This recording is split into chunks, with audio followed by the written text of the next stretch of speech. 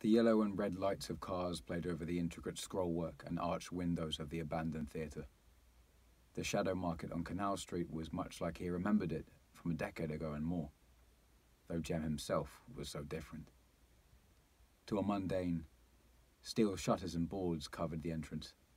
To Jem and Kit, they were silver and wood beads, a curtain that chimed a song as they passed through.